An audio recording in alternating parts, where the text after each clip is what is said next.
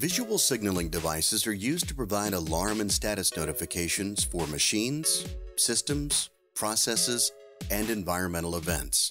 Their primary purpose is to provide simple situational awareness to technicians and operators when machinery is in use, personnel are occupying a hazardous space for maintenance or repairs, or when there is an active emergency.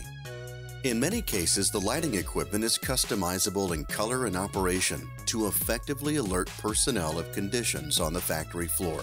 Emergency lighting indicates hazardous events. They are typically equipped with ultra bright LED lamp heads and designed to meet several safety codes.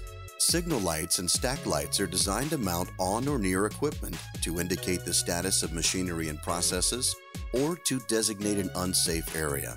Stack lights offer the ability to include several different lamp colors and types to indicate different conditions.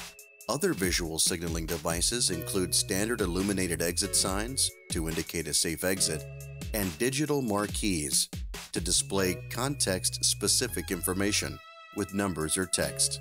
Stay tuned to Galco TV for more tech tips and be sure to visit galco.com to view our full product catalog.